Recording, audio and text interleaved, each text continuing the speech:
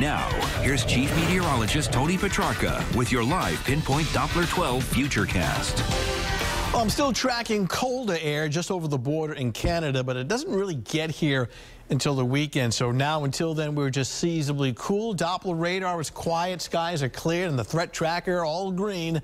Now through Friday and Saturday in the low category. Certainly no storminess or widespread heavy precipitation, so fairly quiet.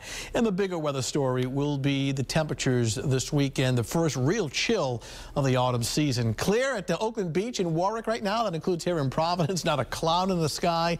Dry 58 right now. Most areas are in the mid to upper 50s. A west-southwest breeze, a light speeds. Humidity is dry at the 47%. Tiverton checking in now at 56 degrees. So here's the wider view of the satellite and radar composite. You see the clear weather across New England.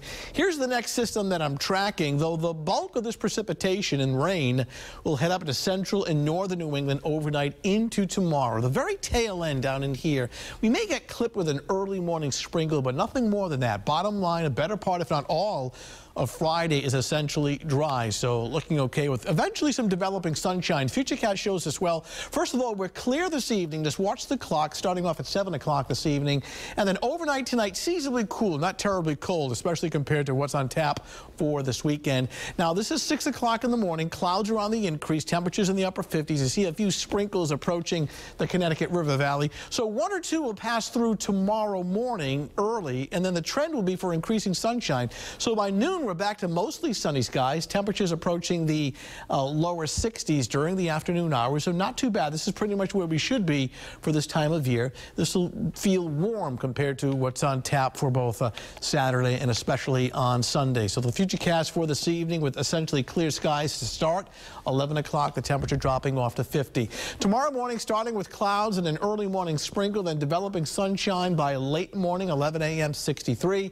And by the afternoon hours, real nice mainly sunny, high temperatures at around uh, 60, 65. So one more relatively mild day before that cold air takes over. Let me show you the temperature trend. The normal high is 62. Not bad tomorrow.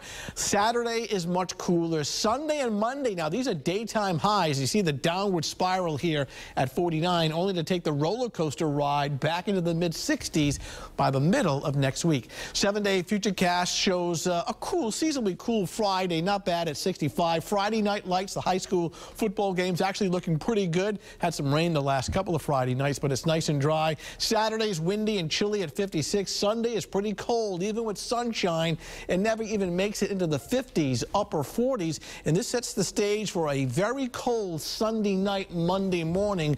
I do anticipate a widespread freeze later Sunday night and towards daybreak Monday with low temperatures in the upper 20s to lower 30s before that moderation in temperature, but not until the middle of next week. So uh, the furnace will kick on. The pellet stove will be at work. You can download the Channel 12 weather app on your smartphones and on your tablets as well. Nothing unusual about getting freezing temperatures uh, from mid-October. It's about time, actually. And, and, it's not the last we're going to see of warmer temperatures either. That's the nice No, thing. I don't see this like locking in for yeah. many, many days. As, as you can see there, it does recover by Wednesday and Thursday. All right. Tony, thanks.